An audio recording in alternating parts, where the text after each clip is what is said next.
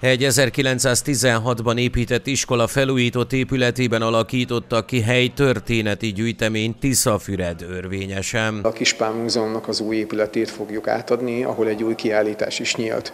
Tisza örvény a legrégebbi település része Tiszafürednek, és itt már több száz évvel ezelőtt is olyan élet volt, a halászat és az itt lakó embereknek az élete annyira tartalmas volt és annyira sokrétű, hogy erre gyakorlatilag egy elég komoly gyűjtemény is jött létre, amelyet Darabos László, egy, egy itteni lakos szedett össze, és az ő nevét is viseli a kiállítás, mint lokálpatriota gyűjtő, és az ő általa gyűjtött tárgyakból, valamint egyéb itt a környéken feltárt leletekből létesült ez a mostani kiállítás. A tájházban egy korabeli tantermet is berendeztek. Lehet, hogy egy épületre, egy értékes, szép épületre már arban a funkcióban nincs szükség, ami régen volt.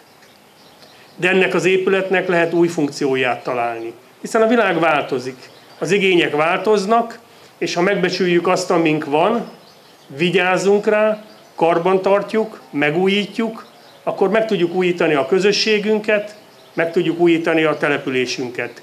Tiszafüred és Tiszaörvény egy olyan hely, hogy szép, jó, jó itt lenni, de azért hozzá is kell tenni, hogy még szebb, még jobb és élhetőbb hely legyen.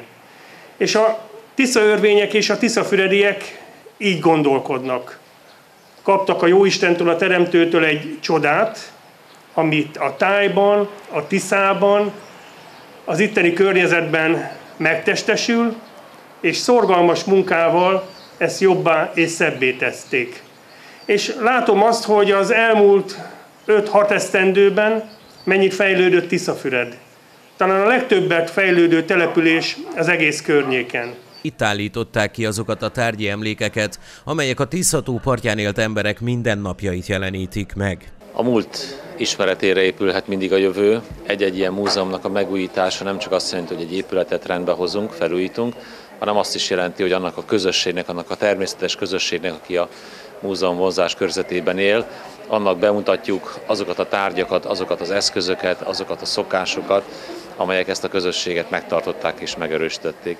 Ezzel lehet a jelenben és a jövőben is erősebb nemzetről beszélni.